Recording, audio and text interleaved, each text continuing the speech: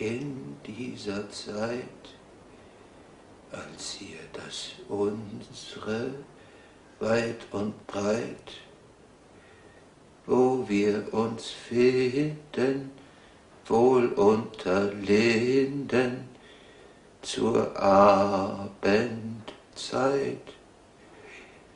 wo wir uns finden, wohl unter Linden zur Abendzeit.